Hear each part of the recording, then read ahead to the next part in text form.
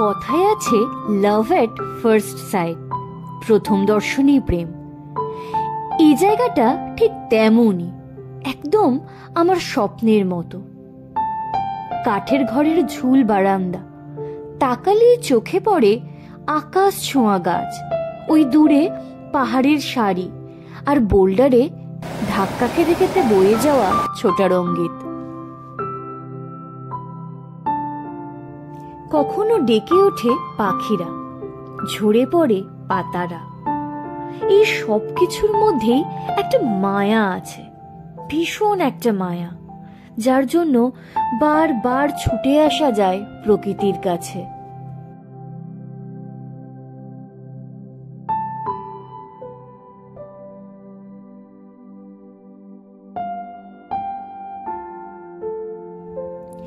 দার্জিলিং এর কাছে বিজনবাড়ি এখানকার রিভার উডস ইন নামের হোমস্টেটা আমার চোখে ছিল একটা perfect honeymoon place.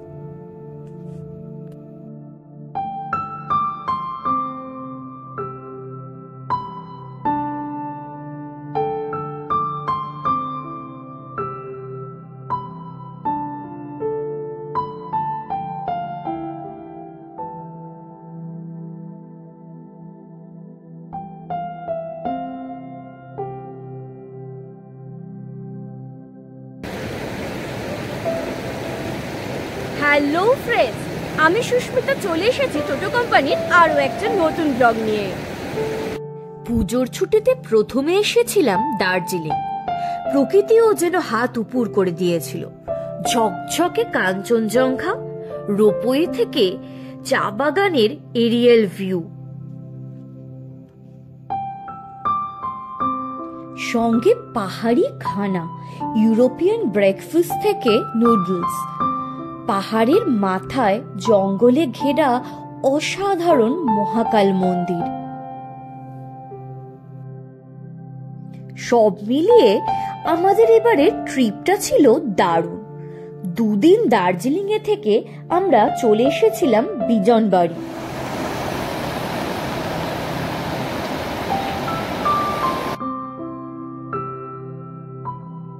বিজনবাড়ির river woods ইনে থাকার অভিজ্ঞতাও ছিল দারুণ। আগের পর্বেই তার বিস্তারিত ভিডিও দেখিয়েছি। দেখিয়েছিলাম এখান থেকে সাইট সিং করে আসা মেগিটারও তবে এবার ফেরার পালা।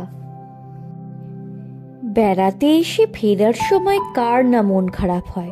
তার ওপর এইরকম সুন্দর বিজন বাড়ির প্রকৃতি ছেড়ে যাওয়ার কথা ভাবলে মনটা একদম খারাপ হয়ে যাবে, সেটাই তো স্বাভাবিক ছিল। ব্যস্ততার মাঝখানেও পুজোর যে কটা দিন এই প্রকৃতির স্পর্শ পেলাম, তাতে মন ভরে গেল। অনেকখানি অক্সিজেন নিয়ে আজকে আমরা বাড়ি ফেরার ট্রেন ধরবো এনজেপি থেকে। পথে অবশ্য আমরা মিরিক হয়ে যাব, সেখানেও কিছুক্ষণ আমরা ঘুরতে পারব। তবে সত্যি কথা বলতে গেলে বিসর্জনে যেমন মন খারাপ হয় তেমনই এমন একটা সুন্দর জায়গা থেকে যেতে কিন্তু মনটা খুব খারাপ লাগছে। জানি না আবার কখনো আসা হবে কিনা, তবে বিজনবাড়ির এই রিভার উড হোমস্টেটা সারা জীবন আমার মনে থেকে যাবে। আমি যে সমস্ত হোমস্টে মানে অনবদ্য লোকেশনের জন্য যে সমস্ত হোমস্টে এখনও পর্যন্ত আমার খুব মনের কাছে, তার মধ্যে অবশ্যই এইটা একটা।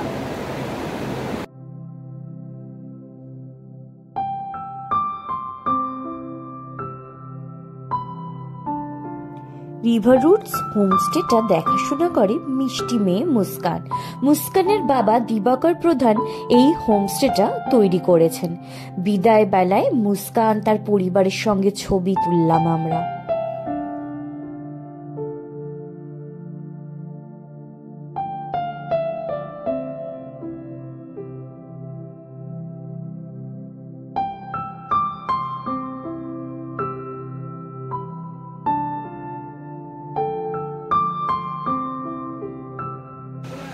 রিভারউড হোমস্টে থেকে এবার আমরা ফিরছি। দুটো দিনের জার্নি অসাধারণ ছিল। তবে এই হোমস্টেটা অসম্ভব সুন্দর হলেও একটাই নেগেটিভ ব্যাপার, সেটা হচ্ছে দেখুন, এই সিঁড়ি কিন্তু বিশাল। রাস্তা থেকে একদম এই যে অনেকখানি সিঁড়ি চলে গেছে। সুতরাং একটু বয়স্ক লোক হলে বা কারোর কোমরের ব্যথা থাকলে সিরিয়াসলি মানে বাত বা এরকম কিছু থাকলে আমি কিন্তু রেকমেন্ড করব না। সেক্ষেত্রে খুব সমস্যা হয়ে যেতে পারে। আদারওয়াইজ এই হোমস্টেটার সব কিছুই খুব খুব খুব ভালো।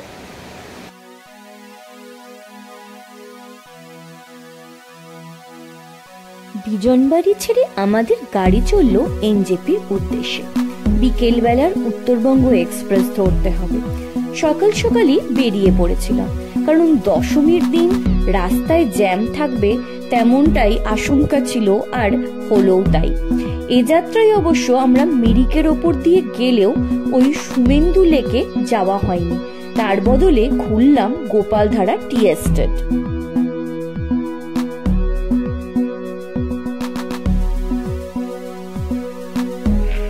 মিরিকের রাস্তায় আমরা চলে এসেছি গোপালধারা টি এস্টেটে। এই জায়গাটার আর একটা নাম হলো গোল পাহাড়। অসাধারণ ভিউ চারপাশে শুধু চা বাগান। আর এখানে পাহাড়গুলো মানে এই চা বাগানের যে পাহাড়গুলো, সেগুলো দেখতে কিছুটা গোল গোল বলে এটাকে গোল পাহাড়ও বলে এই জায়গাটাকে। রাস্তাতে প্রচণ্ড জ্যাম, তাই এবার আর মিরিক যাচ্ছি না। এই গোল পাহাড় এই জায়গাটাকেই এনজয় করব। আর এই টি এস্টেটটা জাস্ট এই গোপালধারা টি এস্টেটটা জাস্ট অসাধারণ। এই ঝকঝকে রোদে চারপাশ ভীষণ সুন্দর দেখাচ্ছে। চারপাশে একদম অসাধারণ লাগছে সবকিছু। শুধু সবুজ আর সবুজ, চারিদিকে চা বাগান, আর তার মধ্যে দিয়ে হাঁটছি, ফটোশুটও চলছে। মিরিক শুধু দার্জিলিং এর একটা মহকুমা নয়, একটি জনপ্রিয় পর্যটন কেন্দ্রও বটে। এই মিরিকেই রয়েছে গোপালধারা টি এস্টেট। আর চা বাগানে গেলে বাঙালি ফটোশুট করবে না তাও কি হয়? চা বাগান দর্শন সেরে একটু তড়িঘড়ি করেই আমাদেরকে বেরিয়ে পড়তে হলো। বলা যায় না, রাস্তায় যদি আবার জ্যাম হয়, ট্রেন তো মিস করা যাবে না, তাই না?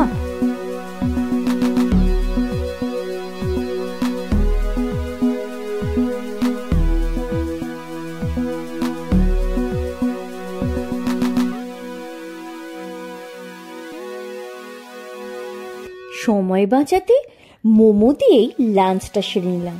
আসলে পাহাড়ের মোমোর স্বাদ কিন্তু ঠিক আমাদের কলকাতা শহরের মতো না।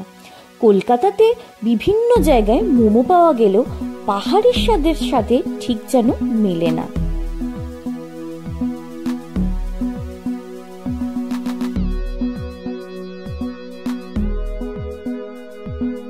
কথায় আছে, দেনেওয়ালা জব্বি দেতা দেতা ছপ্পর ফারকে। আমাদের কপালটাও এবার ছিল ঠিক তেমনই। পুজোর সময় মানে মিড অক্টোবরে দার্জিলিং গিয়েছিলাম, আর চারটে দিনই কাঞ্চনজঙ্ঘার দেখা পেয়েছি। ঝকঝকে আকাশে রাস্তার বাঁকে বাঁকে উঁকি দিয়েছে কাঞ্চনদা।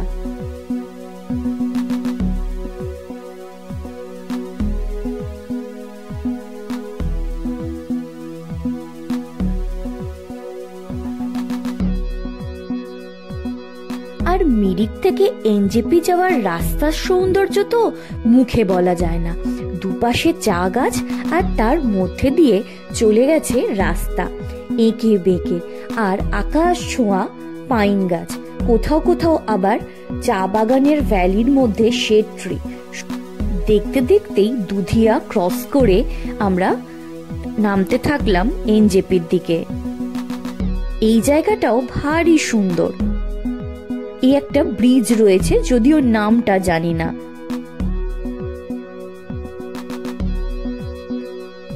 শিলিগুড়িতে এই মাটি গাড়ার জঙ্গলের রাস্তাটাও আমার দারুণ লাগে। এই রাস্তার সঙ্গেই শেষ করলাম আমার দার্জিলিং সিরিজটা। ব্লগগুলো ভালো লাগলে লাইক, কমেন্ট, শেয়ার করে দেবে। আমার চ্যানেল টোটো কোম্পানিকে সাবস্ক্রাইব করতে ভুলবেন না।